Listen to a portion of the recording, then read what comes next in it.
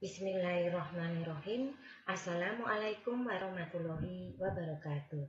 Bertemu lagi dengan saya pada mata kuliah Sistem Operasi untuk kelas pagi gelombang yang kedua pada hari ini hari Kamis tanggal 19 November 2020. Untuk kelas sistem operasi pagi gelombang yang kedua, pada pertemuan kali ini kita masuk pada pertemuan yang ke-15. Nah, pada pertemuan yang ke-15 ini saya akan memberikan uh, materi dengan tema manajemen I.O. Nah, untuk lebih jelasnya langsung saja akan kita bahas pada pertemuan pagi hari ini. Manajemen I.O. atau yang disebut dengan manajemen input-output. Pengertian dari manajemen input-output bahwa dalam sebuah sistem komputer, manajemen input-output sangat diperlukan karena I.O. adalah sarana user untuk bisa berkomunikasi dengan komputer. Contoh perangkat I.O. seperti keyboard, mic, audio controllers, video controllers, disk drives, networking ports, dan lain-lain. Manajemen I.O. pun diperlukan agar user dapat langsung menggunakan perangkat I.O. tanpa harus menginisialisasi terlebih dahulu. Oleh karena itu, dalam setiap sistem operasi selalu terdapat yang namanya I.O. Manager. Beberapa fungsi dari manajemen input-output di antaranya satu mengirim perintah ke perangkat input-output agar menyediakan layanan. Yang kedua, menangani interupsi perangkat input-output. Tiga, menangani kesalahan perangkat input-output. Empat, menyediakan interface ke pemakai atau user. Adapun teknik dari manajemen input output ya bahwa di sini input output itu terprogram. Ada beberapa teknik yang dipakai dalam manajemen input output di antaranya satu I/O terprogram. Pada I/O terprogram data itu saling dipertukarkan antara CPU dan modul I/O. CPU mengeksekusi program yang memberikan operasi I.O. kepada CPU secara langsung, seperti pemindahan data, pengiriman perintah baca maupun tulis, dan monitoring perangkat.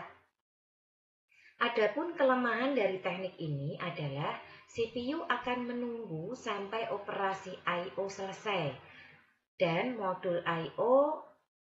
Eh, akan menunggu hal tersebut sehingga tidak membuang waktu.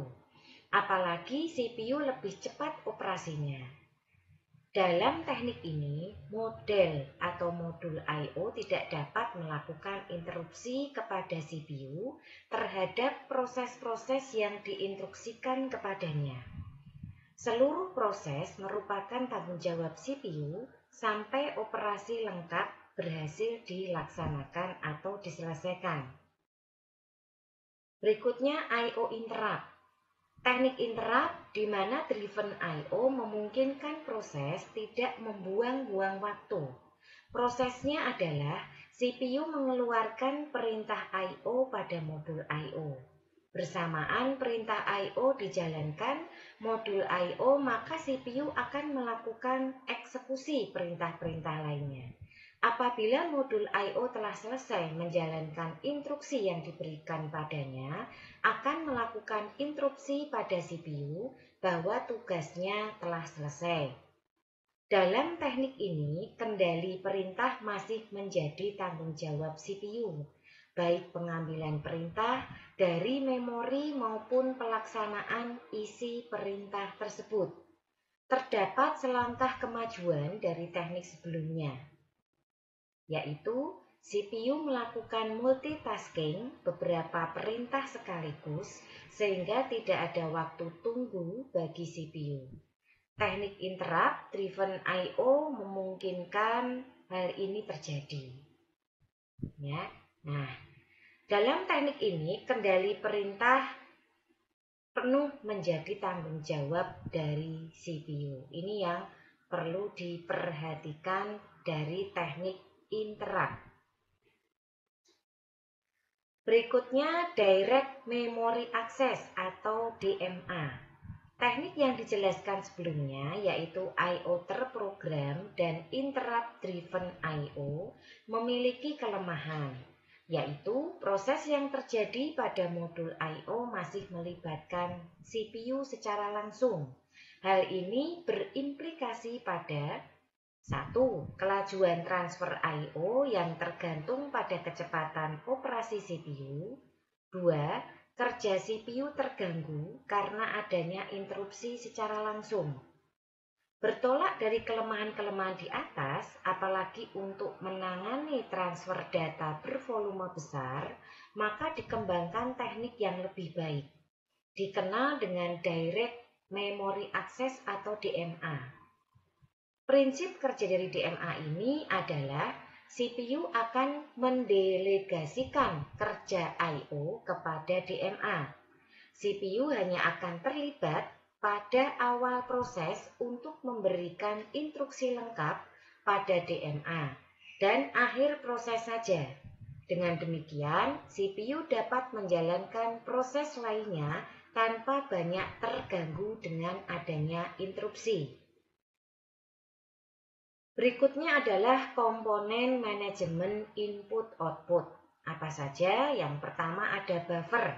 Buffer ini menampung sementara data dari atau ke perangkat I.O. Dua, Spooling. Melakukan penjadwalan pemakaian I.O. sistem supaya lebih efisien. Contohnya antrian dan sebagainya. Tiga, menyediakan driver untuk dapat melakukan operasi rinci untuk perangkat keras I.O. tertentu. Manajemen perangkat masukan atau keluaran merupakan aspek perancangan sistem operasi terluas dan kompleks karena sangat beragamnya perangkat dan aplikasinya. Input Berikut adalah e, media input ya, salah satunya ada keyboard. Biasanya berisi tombol-tombol yang terdiri dari fungsi, angka, huruf, tanda baca, dan tombol kontrol. Yang kedua mouse. Perangkat keras untuk terhubung dengan layar komputer berfungsi mengarahkan pointer di layar monitor. Tiga, Mikrofon merekam suara ke dalam komputer yang akan disimpan ke sound card. 4. Scanner Alat yang digunakan untuk memasukkan data berbentuk objek ke dalam komputer untuk diubah ke dalam bentuk digital. 5. CD-ROM Alat komputer untuk membaca dan memutar compact disk atau CD, salah satu media penyimpanan memori. 6. DVD-ROM Memutar dan membaca CD dan DVD. Ini adalah media input dengan berbagai fungsinya. Berikutnya adalah output. Meliputi satu ada monitor. Monitor adalah perangkat yang akan menampilkan apa-apa saja yang kita kerjakan di komputer, baik itu berupa teks maupun grafis. Kedua, printer. Perangkat keras yang mencetak hasil input berupa image atau teks pada kertas. 3. Speaker. Perangkat yang mengeluarkan data berupa suara. Berikutnya adalah perangkat input-output untuk perangkat keras. Perangkat keras ini merupakan piranti keras I.O. atau device pada sistem komputer yang sifatnya amat beragam. Masing-masing piranti I.O. memiliki karakteristik yang khas. Karakteristik yang dapat digunakan sebagai pembeda antara piranti I.O. yang satu dengan yang lain antara lain 1. Modus transfer data 2. Metode akses 3. Jadwal transfer 4. Sharing 5. Kecepatan akses 6. Modus operasi I.O. Berikutnya perangkat lunak. Tujuan perancangan perangkat lunak I.O. adalah 1. Device independent 2. 2. Uniform naming 3. Error handling 4. Transfer sinkron vs asinkron 5. Cerebral vs dedicated device Berikutnya adalah klasifikasi perangkat I.O. Yang pertama dilihat dari sifat aliran datanya. Biasanya perangkat I.O. terbagi atas satu perangkat berorientasi blok, yaitu menyimpan, menerima, dan mengirim informasi sebagai blok-blok berukuran tetap yang berukuran 128 sampai 1024 byte dan memiliki alamat tersendiri sehingga memungkinkan membaca atau menulis blok-blok secara independen yaitu dapat membaca atau menulis sembarang blok tanpa harus melewati blok-blok lain. Contoh ada disk, tape, CD-ROM, optical disk. Yang kedua, perangkat berorientasi aliran karakter, yaitu perangkat yang menerima dan mengirimkan aliran karakter tanpa membentuk suatu struktur blok. Contohnya ada terminal, line printer, pita kertas, kartu-kartu berlubang, interface jaringan, dan mouse.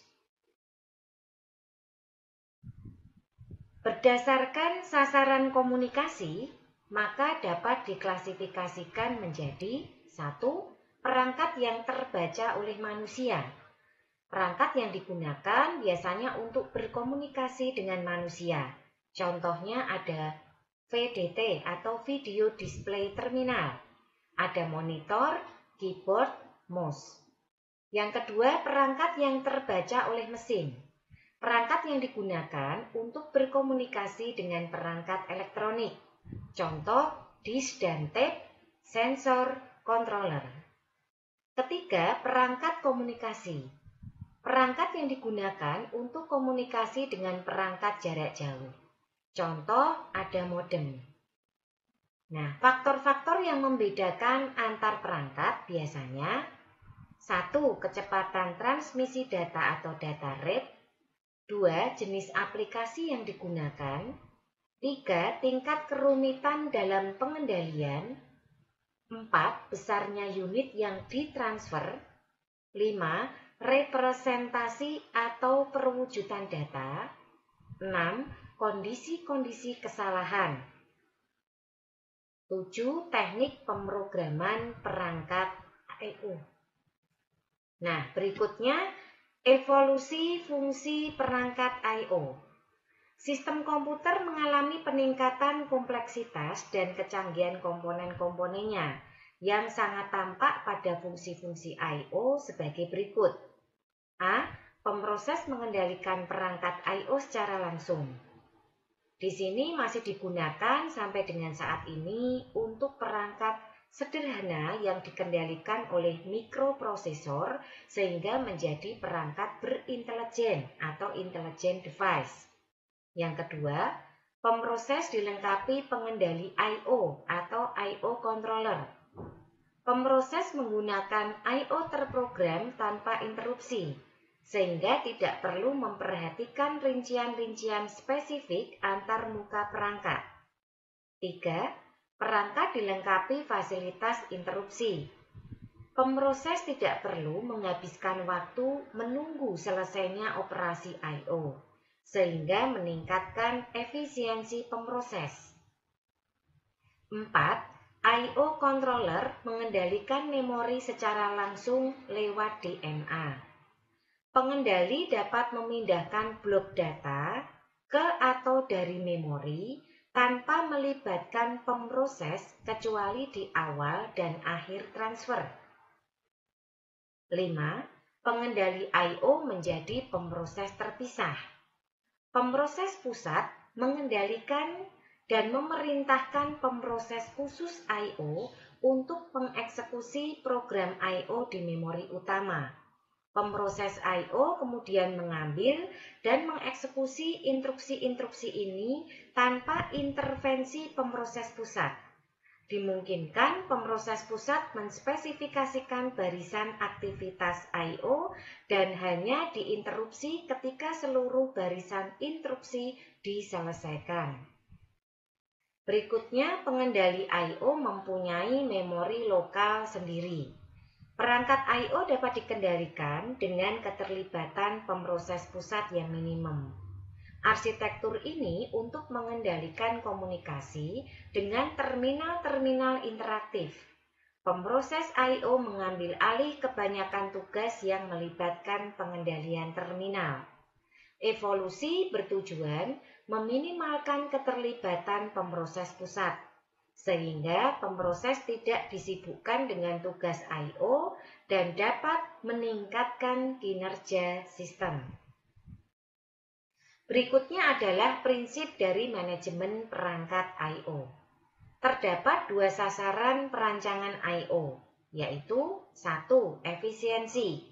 Aspek penting karena operasi I.O. sering menimbulkan bottleneck. Dua, Generalitas atau device independence. Manajemen perangkat I.O. selain berkaitan dengan simplisitas dan bebas kesalahan, juga menangani perangkat secara baik, ya, secara seragam, baik dari cara proses memandang maupun cara sistem operasi mengelola perangkat dan operasi I.O.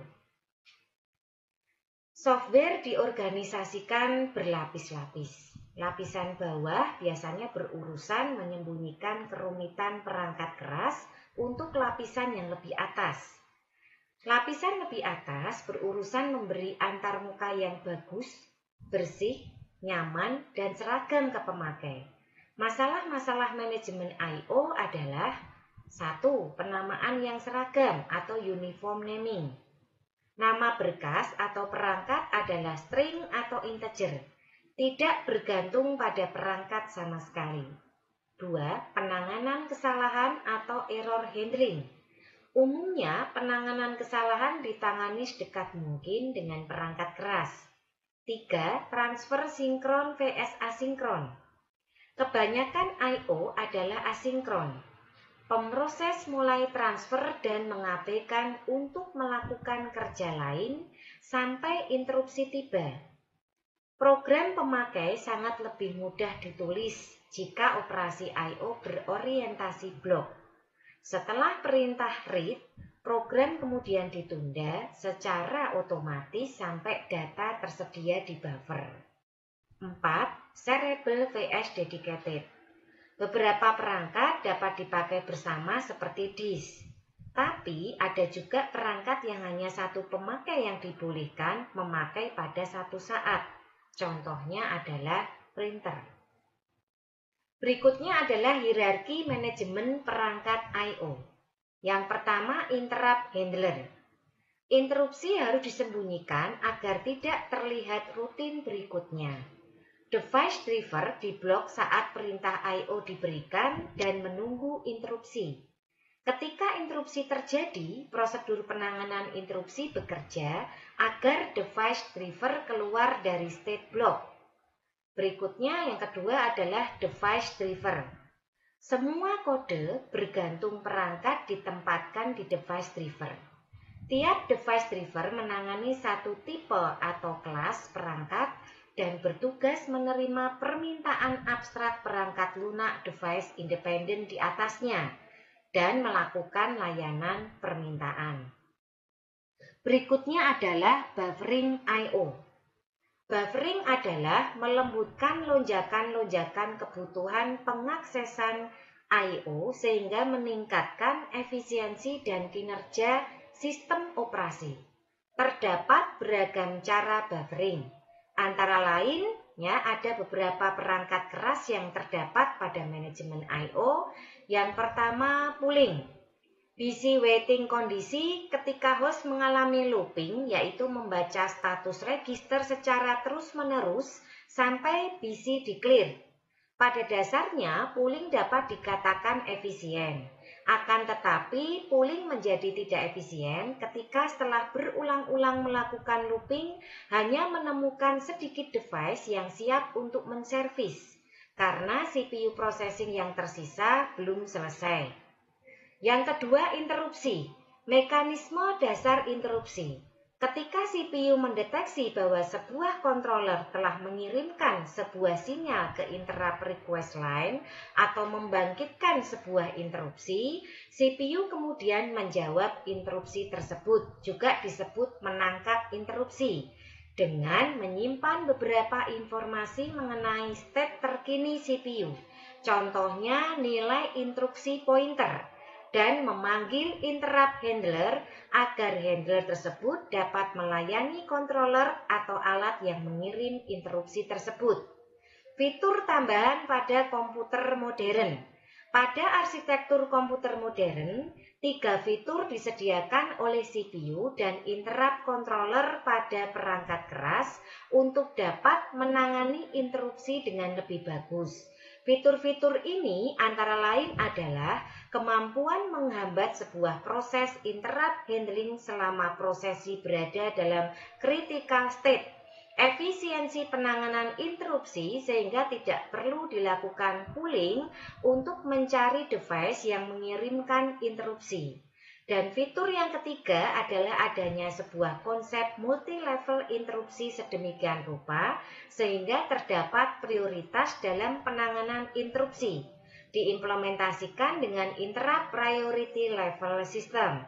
Penyebab interupsi antara lain, interupsi dapat disebabkan berbagai hal seperti exception, page fault, interupsi yang dikirimkan oleh device controllers, dan system call exception di mana merupakan suatu kondisi terjadi sesuatu atau dari sebuah operasi didapat hasil tertentu yang dianggap khusus sehingga harus mendapat perhatian lebih. Contohnya pembagian dengan nol, pengaksesan alamat memori yang restricted atau bahkan tidak valid dan lain-lain. Sistem call adalah sebuah fungsi pada aplikasi atau perangkat lunak yang dapat mengeksekusikan instruksi khusus berupa software interrupt atau trap. DMA. DMA adalah sebuah prosesor khusus, special purpose prosesor yang berguna untuk menghindari pembagian CPU utama oleh program I.O. Yang keempat, handshaking. Proses handshaking antara DMA controller dan device controller dilakukan melalui sepasang kabel yang disebut DMA request dan DMA acknowledge. Device controller mengirimkan sinyal melalui DMA request ketika akan mentransfer data sebanyak satu word. Hal ini kemudian akan mengakibatkan DMA controller memasukkan alamat-alamat yang diinginkan ke kabel alamat memori dan mengirimkan sinyal melalui kabel DMA acknowledge. Setelah sinyal melalui kabel DMA acknowledge diterima, device controller mengirimkan data yang dimaksud dan mematikan sinyal pada DMA request. Hal ini berlangsung berulang-ulang sehingga disebut handshaking. Pada saat DMA controller mengambil alih memori, CPU sementara tidak dapat mengakses memori akan dihalangi walaupun masih dapat mengakses data pada charger, primer, dan sekunder. Hal ini disebut dengan cycle stealing, yang walaupun memperlambat komputasi CPU tidak menurunkan kinerja karena memindahkan pekerjaan data transfer ke DMA controller meningkatkan performa sistem secara keseluruhan. Berikutnya adalah descheduling. Ada beberapa algoritma pada descheduling, di antaranya adalah satu Penjadwalan FCFS. Sistem kerja dari algoritma ini melayani permintaan yang lebih dulu datang di queue Algoritma ini pada hakikatnya adil bagi permintaan M atau K yang mengantri di queue karena penjadwalan ini melayani permintaan sesuai waktu tunggunya di queue. Tetapi yang menjadi kelemahan algoritma ini adalah bukan merupakan algoritma dengan layanan yang tercepat. Sebagai contoh, misalnya di QDIS terdapat antrian permintaan blok M atau K di silinder. Yang kedua, round robin. Algoritma ini menggilir proses yang ada di antrian. Proses ini akan mendapat jatah sebesar time quantum. Jika time kuantumnya habis atau proses sudah selesai, CPU akan dialokasikan ke proses berikutnya. Tentu proses ini cukup adil karena tidak ada proses yang diprioritaskan. Semua proses akan mendapat jatah waktu yang sama dari CPU yaitu 1 per N dan tidak akan menunggu lebih lama dari N-1 key dengan key adalah lama satu kuantum. Algoritma ini sepenuhnya bergantung besarnya time kuantum. Jika terlalu besar, algoritma ini akan sama saja dengan algoritma first come first serve jika terlalu kecil, akan semakin banyak peralihan proses sehingga banyak waktu yang terbuang. Yang ketiga adalah penjadwalan SSTF. Shortest Time First atau SSTF merupakan algoritma yang melayani permintaan berdasarkan waktu pencarian yang paling kecil dari posisi head terakhir. Sangat beralasan untuk melayani semua permintaan yang berada dekat dengan posisi head yang sebelumnya sebelum menggerakkan head lebih jauh untuk melayani permintaan yang lain. 4. Penjadwalan scan dan C-scan. Pada algoritma scan, head bergerak ke silinder paling ujung dari disk. Setelah sampai di sana, maka head akan berbalik arah menuju silinder di ujung yang lainnya. Head akan melayani permintaan yang dilaluinya selama pergerakannya ini. Algoritma ini disebut juga sebagai elevator algorithm karena sistem kerjanya yang sama seperti yang digunakan elevator di sebuah gedung tinggi dalam melayani penggunanya. Elevator akan melayani pengguna yang akan menuju ke atas dahulu sampai lantai tertinggi. Baru setelah itu dia berbalik arah menuju lantai terbawah sambil melayani penggunanya yang akan turun atau sebaliknya. Jika melihat analogi yang seperti itu, maka dapat dikatakan head hanya melayani permintaan yang berada di depan arah pergerakannya. Jika ada permintaan yang berada di belakang arah geraknya, maka permintaan tersebut harus menunggu sampai head menuju silinder di salah satu disk, lalu berbalik arah untuk melayani permintaan tersebut. Algoritma Circular scan atau C-scan merupakan hasil modifikasi algoritma scan untuk mengurangi kemungkinan starvation yang bisa terjadi pada scan. Perbedaan C-scan dengan scan hanya pada bagaimana pergerakan disk setelah sampai ke salah satu silinder paling ujung. Pada algoritma scan, disk akan berbalik arah menuju ke silinder paling ujung lain sambil tetap melayani permintaan yang berada di depan arah pergerakan disarm. Sedangkan pada algoritma C-scan, sesudah mencapai silinder paling ujung, maka disarm akan bergerak cepat ke silinder paling ujung lainnya tanpa melayani permintaan. Yang kelima, penjadwalan loop dan ciluk. Algoritma loop adalah algoritma penjadwalan disk yang secara konsep hampir sama dengan algoritma scan. Sesuai dengan namanya, algoritma ini seolah-olah seperti dapat melihat. Algoritma ini memperbaiki kelemahan scan dan si-scan dengan cara melihat apakah di depan arah pergerakannya masih ada permintaan lagi atau tidak. Bedanya, pada algoritma loop, disarm tidak berjalan sampai ujung disk tetapi hanya berjalan sampai pada permintaan yang paling dekat dengan ujung disk. Setelah melayani permintaan tersebut, disarm akan berbalik arah dari arah pergerakannya yang pertama dan berjalan sambil melayani permintaan-permintaan yang ada di depannya sesuai dengan arah pergerakannya. Ciluk Algoritma ini berhasil memperbaiki kelemahan algoritma scan, C-scan, dan loop.